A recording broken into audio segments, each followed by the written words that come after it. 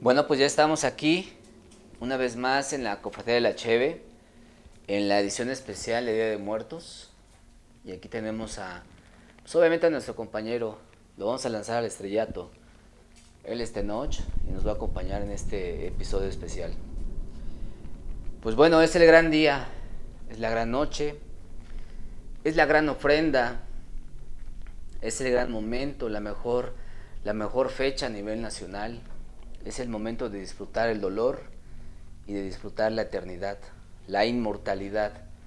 Es el Día de Muertos y vamos a darle para adelante.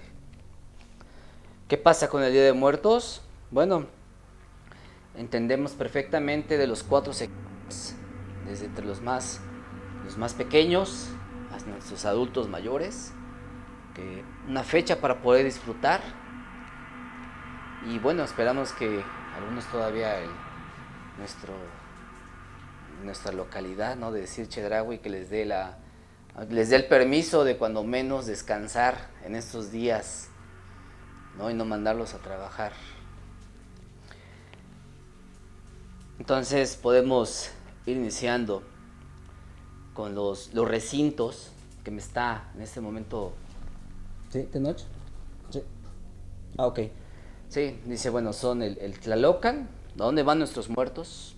A Tlalocan, al Omeyoacán y obviamente al Almiclan.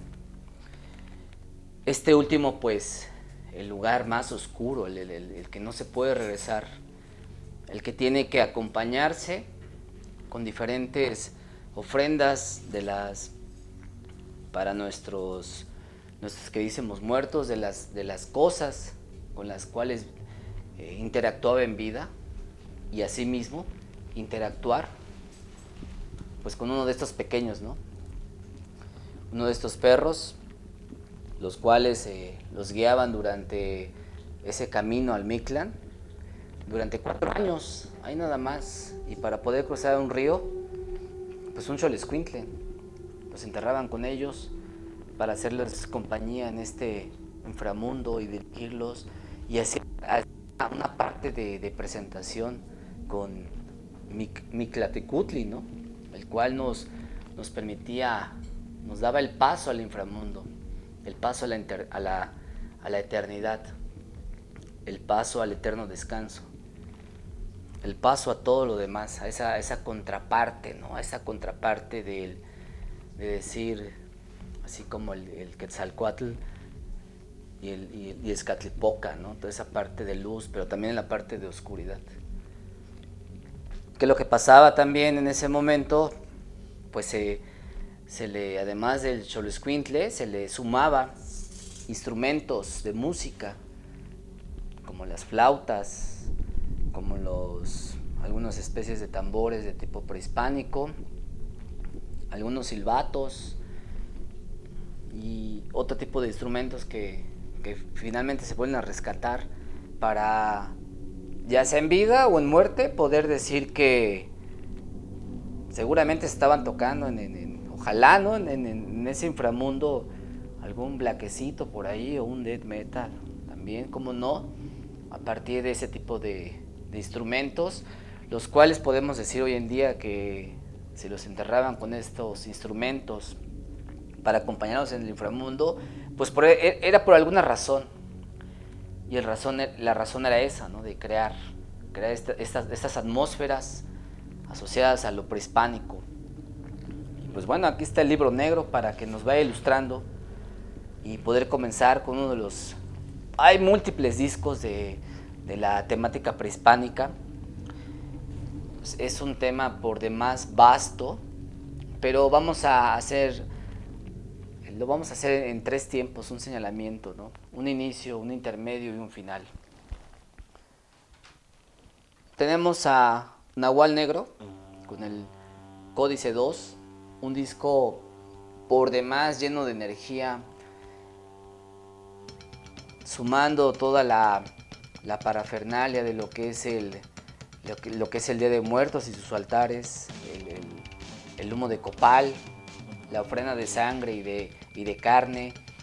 Tiene los riffs totalmente desgobernados, a medio tiempo y de repente explotan constantemente en un beat blast que conocemos ya de death metal, con voces, voces guturales exacerbadas, dando mucha energía, mucha electricidad al disco. Es un disco realmente increíble, es, una alfombra roja, es, la bienvenida, es la bienvenida de los, de los elementos de nuestros, de nuestros altares para nuestros muertos, nuestros santos muertos.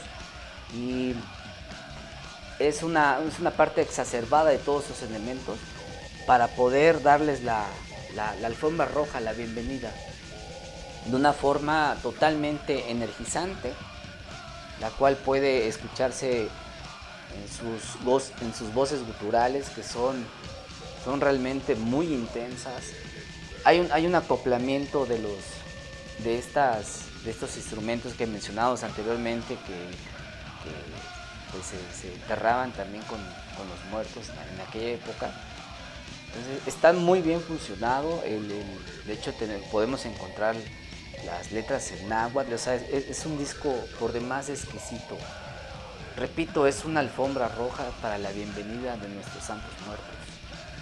Lleno de, esa profundidad, lleno de esa energía, con voces guturales que lo hace, es una reverberancia que empieza a enaltecer, empieza a enaltecer, a crearse ese, esa conexión entre el inframundo y lo que es precisamente nuestra, nuestra realidad, ¿no?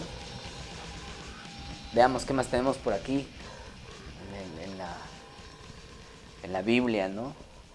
En la Biblia de los discos.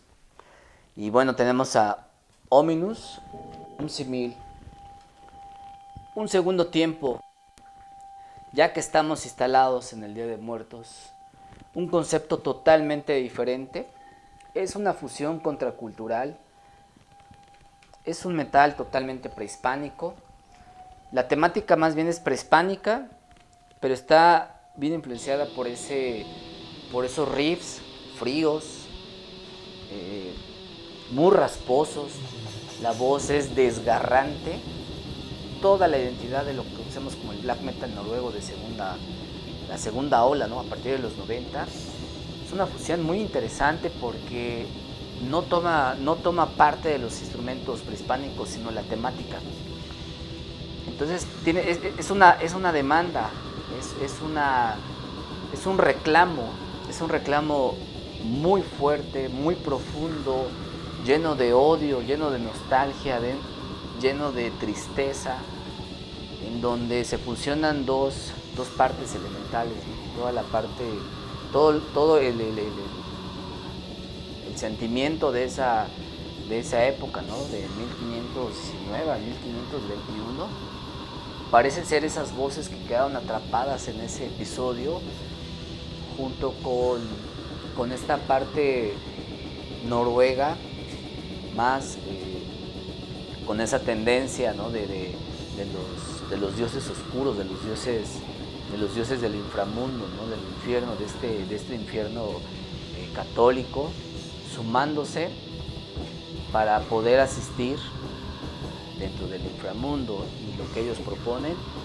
enaltecer toda esta ideología y obviamente una, diferencia radical a la parte católica.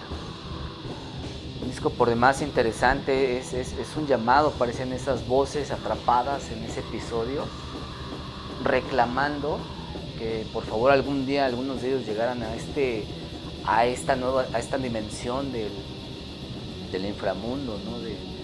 del Mikla para poder estar ahí y poderlo poderlo hacer ver como, como ese infierno como ese infierno eterno que, se maneja en la, religión católica las voces son por demás eh, brutales y las letras son son realmente extremas en, este reclamo. Este episodio tan oscuro de nuestra historia, que bueno, lo enaltece eh, en estos días, me parece un, disco importante para también poner la contraparte, ¿no? porque toda esta, toda esta cosmovisión está precisamente conformada de esas dualidades. Vamos a ver. Posteriormente, tenemos el chamatl. Bueno, este es el, el retorno al paganismo. Un disco excelente, un solo integrante para esta banda.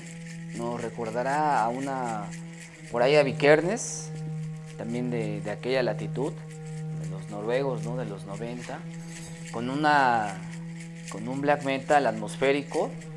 Este disco está impresionante, está, hace toda la atmósfera. Eh, es, un- es una, es una cuestión que te va eh, metiendo poco a poco en el llamado, en el llamado precisamente a, nu- a nuestros muertos, desde todas las, desde todas las, las, visiones, las situaciones, como hayan terminado, como hayan sido, pero sí hace un llamado a todo, a todo lo que está desde el inframundo, va a crear una atmósfera muy profunda, muy pocos instrumentos prehispánicos, pero sí crea, sí crea una, una atmósfera de estremecimiento constante, constante. Todo el disco está deambulando en esta idea. Nos permite en algún momento percibir, percibir cómo están, cómo están llegando, cómo, cómo están interactuando con nuestros espacios, nuestros, nuestros, muertos queridos. En algún momento hasta sentirlos muy cerca de, eh, de- del abrazo, ¿no? del cariño, del- del extrañar, pero también de la perpetuidad.